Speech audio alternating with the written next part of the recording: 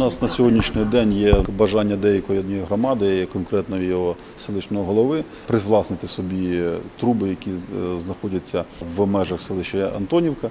Це труби колишнього радгоспу Янтарний, який був обласною власністю, е, комунальною власністю обласної влади. І на сьогоднішній день вони не війшли ці труби в ліквідаційний баланс ліквідованого КП, а є до, до цих пір залишаються власністю обласної комунального підпорядкування. Е, Ми на минулій сесії, це 1 червня, визначили балансоутримувачем цих труб і взагалі всіх інженерних споруд е, конкретне е, установу комунальну обласного підпорядкування. На жаль, хтось е, думає, що винести рішення там сільської ради про те, що це твоє там чи його там і так далі. Ну це самоуправство.